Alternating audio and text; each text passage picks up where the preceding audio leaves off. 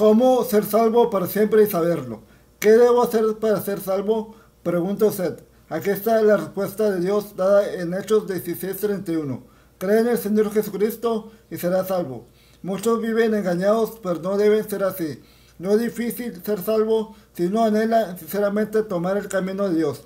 Hacer la voluntad del Padre significa sencillamente confiar en Jesucristo, su Hijo, que murió en la cruz para salvar a usted. Pagó por todos sus pecados, que murió en la cruz. Dios está satisfecho con el precio que Jesús pagó. Ofrece perdón gratuitamente a todos los que dependen del Señor Jesucristo para obtener misericordia. Esta bendita verdad se ofrece a través de toda la Biblia. Apropiese de esas benditas promesas hoy, porque de tal manera amó Dios al mundo que ha dado a su Hijo unigénito para que todo aquel que en él cree no se pierda, mas tenga vida eterna. Juan 3:16.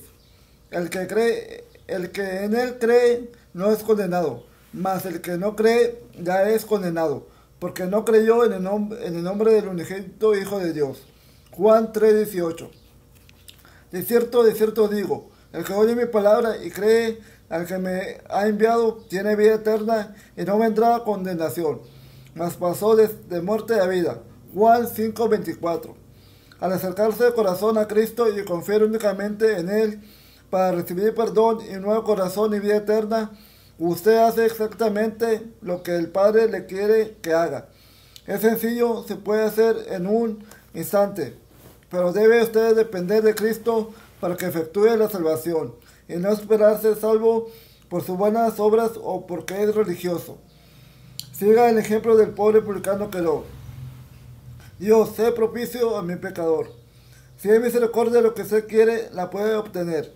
Si es, el, ser pecador lo que admite ser, entonces es por usted que murió Jesús, que está dispuesto a descartar su vestidura del fariseísmo, tal como el pobre ciego Bartimeo echó una capa cuando se levantó y se acercó a Jesús para que lo sanara. Marcos 10:5. Entonces de seguro que será bien recibido. El Señor Jesús vino a buscar y a salvar lo que se había perdido. Murió para salvar a los pecadores. Yo me aseguraría hoy de que no estoy dependiendo de ninguna otra cosa en el mundo excepto que Cristo murió por mí y que Dios me prometió perdón cuando confiere en Él. Luego me entregaría tan completamente a la voluntad de Cristo que el Espíritu Santo me daría gozo y seguridad total. El mismo Espíritu da testimonio a nuestro Espíritu que somos hijos de Dios.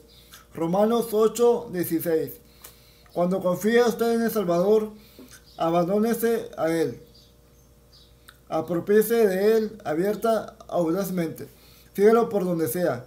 No se contente nunca hasta tener en su corazón la eterna seguridad de que sus pecados han sido perdonados y que su alma se salva, es salva.